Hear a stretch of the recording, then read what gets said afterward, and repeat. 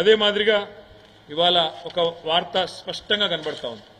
నేను మా నాయకులు కార్యకర్తలకు కూడా నేను చేసే విజ్ఞప్తి వాళ్ళ దేశంలో ఈ రెండు కూటమిల్లో ఏ కూటమికి కూడా స్పష్టమైన మెజారిటీ వచ్చే పరిస్థితి కనబడడం లేదు. ఇటు బీజేపీ ఆధ్వర్యంలో ఉన్న ఎన్డీఏ కానీ కాంగ్రెస్ ఆధ్వర్యంలో ఉన్న ఇండియా కూటమికి కానీ స్పష్టమైన మెజారిటీ అయితే వచ్చే పరిస్థితి లేదు. ప్రాంతీయ పార్టీలే తమ హవా కొనసాగించబోతా ఉన్నాయి. తప్పకుండా ఏ పార్టీలైతే ఇండియాలో కానీ ఎన్డీఏలో కానీ లేవో ఆ పార్టీలకు వచ్చే సీట్లు. అందులో చాలా ప్రముఖమైన పార్టీలు ఉన్నాయి. బీఆర్ఎస్ ఉన్నది వైఎస్ఆర్సీపీ ఉన్నది బిజు జనతాదళ్ ఉన్నది. వీళ్ళే రేపు ప్రాంతీయ శక్తులే నిర్ణయాత్మకమైన పాత్ర పోషిస్తాయనే విశ్వాసం మాకున్నది. ఐదు నెలలు టైంపాస్గా నడిపింది కాంగ్రెస్ ప్రభుత్వం ఈ రాష్ట్రంలో ప్రభుత్వాన్ని.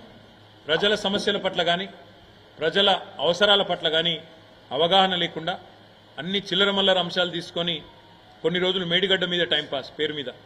కొన్ని రోజులు శ్వేతపత్రాల పేరు మీద టైంపాస్ కొన్ని రోజులు ఫోన్ ట్యాపింగ్ అని టైంపాస్ రకరకాలుగా ప్రజల దృష్టిని మరల్చడానికి చిల్లరమల్లర ప్రయత్నాలు చేసి చివరికి కొంతమంది నాయకులను మా పార్టీ వాళ్ళని గుంజుకున్నా మా క్యాడర్ మాత్రం బలంగా నిలదొక్కున్నది నిలబడ్డది.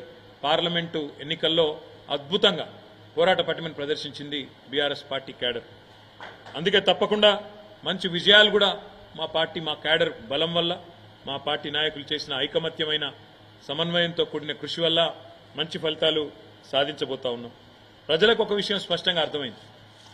ఈనాడైనా ఏనాడైనా అల్టిమేట్గా బీఆర్ఎస్ పార్టీయే తెలంగాణ ప్రయోజనాలకు సంబంధించినంత వరకు శ్రీరామ రక్ష అనే మాట ప్రజలందరికీ కూడా అర్థమైంది. రెండు జాతీయ పార్టీలు కూడా కేవలం సన్నాయి నొక్కులు నొక్కడానికి విమర్శలు చేయడానికి కేసీఆర్ గారిని దూషించడానికి కేవలం తెలంగాణకు ఏమీ చేయకపోయినా అడ్డగోలు మాటలు మాట్లాడడానికి అడ్డగోలు విమర్శలు చేయడానికి మాత్రమే పరిమితం. వీళ్ళ వల్ల అంతకంటే కాదు అనే మాట కూడా అర్థమైంది. చివరిగా నేను చేసే విజ్ఞప్తి నేను చెప్పే మాట ఒకటే. ఇవాళ మా పార్టీ నాయకులు మా పార్టీ కార్యకర్తలు ఎవరెవరైతే ఈ ఎన్నికల్లో అద్భుతమైన పని చేసినారో వారందరికీ ధన్యవాదాలు తెలియజేసుకుంటూనే వారికి ఇంకొక మాట కూడా నేను విజ్ఞప్తి చేస్తా ఉన్నాను మీరు చేసిన కృషి మీరు చేసిన ప్రయత్నం ఉత్తగనే పోదు. పార్లమెంట్ ఎన్నికల్లో మంచి ఫలితాలతో పాటు మంచి ఓట్లతో పాటు సీట్లతో పాటు రేపు తొందరలోనే జరగబోయే స్థానిక సంస్థల ఎన్నికలకు కూడా మీరు చేసిన పని మీరు పెట్టిన ఎఫర్టు ఇది ఒక పునాది కాబోతా ఉన్నది. ఎందుకంటే ఈ సంవత్సరం వరుసగా జిల్లా పరిషత్ ఎన్నికలు ఉన్నాయి మండల ప్రజా పరిషత్ ఎన్నికలు ఉన్నాయి సర్పంచ్ ఎలక్షన్లు ఉన్నాయి అదేవిధంగా కౌన్సిలర్ ఎన్నికలు ఉన్నాయి ఇవన్నిటికీ ఒక బలమైన పునాది ఒక బలమైన మరి ఎఫర్ట్ ఏదైతే మనం చేసినామో తప్పకుండా ఇవన్నిటికీ ఇది ఒక బలమైన ప్రాతిపదికగా మారుతుంది.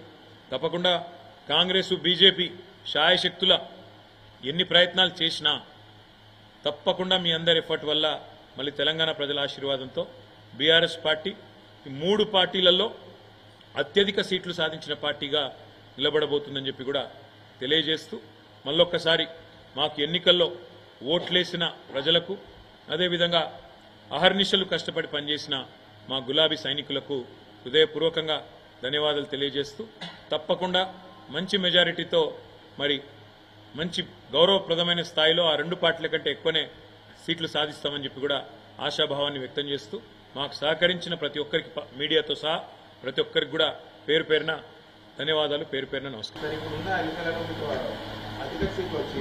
సరే ఇప్పుడు ఐదేళ్ళు ప్రభుత్వం కాంగ్రెస్ ప్రభుత్వం కొనసాగుతుందని భావిస్తున్నారు. జూన్ ఫోర్త్ నాడు చూద్దాం బ్రదర్ తొందర ఎందుకు? అన్నిటికి ఇప్పుడే తొందరపడితే ఒకటైతే పక్కా. నాకు తెలిసి కాంగ్రెస్ పార్టీ పరిస్థితి మాత్రం ఎన్నికల తర్వాత బాగుండదు. ఎందుకంటే ఈ ఐదు నెలల్లోనే ఎక్కడ లేని వ్యతిరేకతను ప్రజలు మూటగట్టుకున్నది కాంగ్రెస్.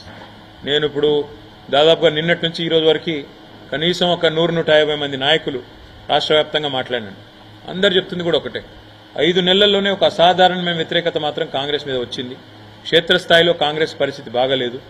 వీళ్ళు అడ్డగోలు హామీలు ఇచ్చి నెరవేర్చలేదు అనే కోపం ప్రజల్లో బలంగా ఉంది అనే మాట చెప్తున్నారు.